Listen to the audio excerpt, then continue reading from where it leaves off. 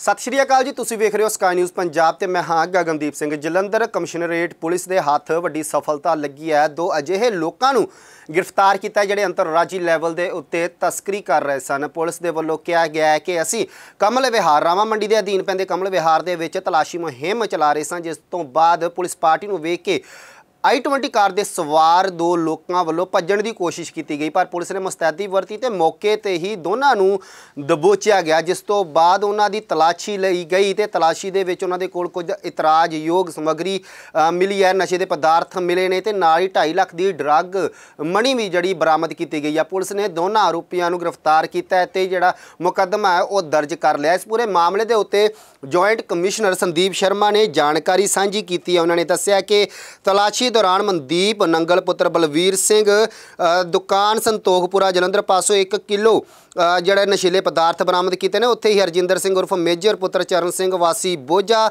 ਥਾਣਾ ਘੁਮਾਣ, ਗੁਰਦਾਸਪੁਰ ਪਾਸੋਂ 1.5 ਕਿਲੋ ਜਿਹੜੇ ਨਸ਼ੀਲੇ ਪਦਾਰਥ ਬਰਾਮਦ ਕੀਤੇ। ਉਹਨਾਂ ਕਿਹਾ ਕਿ ਨਾਲ ਹੀ ਸਵਾ 2 ਲੱਖ ਰੁਪਏ ਦੀ ਡਰੱਗ ਮਣੀ ਸਮੇਤ ਇੱਕ ਹੁੰਡਈ i20 ਵੀ ਕਬਜ਼ੇ 'ਚ ਲਈ ਗਈ ਹੈ। ਸਵਪਨ ਸ਼ਰਮਾ ਨੇ ਦੱਸਿਆ ਕਿ ਜਾਂਚ ਦੌਰਾਨ ਸਾਹਮਣੇ ਆਇਆ ਹੈ ਕਿ ਹਰਜਿੰਦਰ ਸਿੰਘ ਝਾਰਖੰਡ ਤੋਂ 90000 ਰੁਪਏ ਪ੍ਰਤੀ ਕਿਲੋ ਨਸ਼ਾ ਲੈ ਕੇ ਆਉਂਦਾ ਸੀ ਤੇ 1 ਲੱਖ 10000 ਤੋਂ ਲੈ ਕੇ 1 ਲੱਖ 30000 ਰੁਪਏ ਦੇ ਹਿਸਾਬ ਨਾਲ ਅੱਗੇ ਵੇਚਦਾ ਸੀ। ਸੋ ਇਸੇ ਤਰ੍ਹਾਂ ਜੁਆਇੰਟ ਕਮਿਸ਼ਨਰ ਨੇ ਦੱਸਿਆ ਕਿ ਮਨਦੀਪ ਨੰਗਲ ਨੇ ਹਰਜਿੰਦਰ ਸਿੰਘ ਤੋਂ 1 ਲੱਖ 10000 ਰੁਪਏ ਪ੍ਰਤੀ ਕਿਲੋ ਦੇ ਹਿਸਾਬ ਨਾਲ ਨਸ਼ਾ ਖਰੀਦਿਆ ਸੀ। ਫਿਰ 1 ਲੱਖ 70000 ਰੁਪਏ ਦੇ ਹਿਸਾਬ ਦੇ ਨਾਲ ਅੱਗੇ ਸਪਲਾਇਰਾਂ ਨੂੰ ਵੇਚ ਦਿੱਤਾ ਸੀ। ਇਸ ਲੈਵਲ ਦੇ ਉੱਤੇ ਜਿਹੜੀ ਹੈ ਨਸ਼ਾ ਤਸਕਰੀ ਕੀਤੀ ਜਾ ਰਹੀ ਸੀ। ਇਸ ਪੂਰੇ ਤਸਕਰੀ ਗਰੁੱਪ ਦਾ ਜਿਹੜਾ ਭਾਂਡਾ ਫੋੜ ਕੀਤਾ ਹੈ, ਰਾਮਾ ਮੰਡੀ ਪੁਲਿਸ ਨੇ। ਸੋ ਵੱਡੀ ਸਫਲਤਾ ਹੱਥ ਲੱਗੀ ਹੈ ਪੰਜਾਬ ਪੁਲਿਸ ਦੇ। ਸ੍ਰੀ ਸਵਪਨ ਸ਼ਰਮਾ ਨੇ ਦੱਸਿਆ ਕਿ ਮਾਮਲੇ ਦੀ ਜਿਹੜੀ ਅਗਲੇਰੀ ਜਾਂਚ ਹੈ, ਉਹ ਕੀਤੀ ਜਾ ਰਹੀ ਹੈ। ਇਸ ਮਾਮਲੇ ਤੇ ਕੀ ਕਹਿੰਦੇ ਨੇ ਸੰਦੀਪ ਸ਼ਰਮਾ ਜੁਆਇੰਟ ਕਮਿਸ਼ਨਰ ਜਲੰਧਰ। ਆਓ ਸੁਣਦੇ ਹਾਂ। ਤੇ ਚੌਕਸੀ ਵਧੀਆ ਸ਼ਹਿਰ ਦੇ ਵਿੱਚ ਤੇ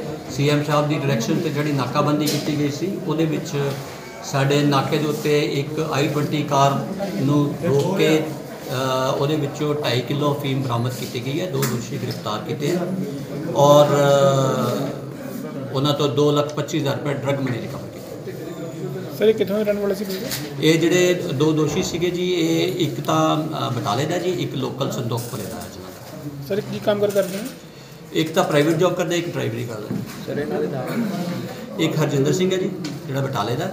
ਤੇ ਜਿਹੜਾ ਅ, ਮਨਦੀਪ ਸਿੰਘ ਹੈ ਉਹ ਲੋਕਲ ਜਲੰਧਰ ਤੋਂ ਸਰ ਇਹਨਾਂ ਦੇ ਕੋਈ ਕੋਈ ਪੁਰਾਣੇ ਮਾਮਲੇ ਕੋਈ ਦਰਜ ਹੈਗੇ ਨੇ? ਹਾਲੇ ਤਫਤੀਸ਼ ਦਾ ਹਿੱਸਾ ਜੀ ਤਫਤੀਸ਼ ਹੈਗਾ ਕਿੰਨੇ ਕੋਲ ਜਲੰਧਰ ਤੋਂ ਗੌਰਵ ਬਸੀ ਦੀ ਰਿਪੋਰਟ ਸਕਾਈ ਨਿਊਜ਼ ਪੰਜਾਬ।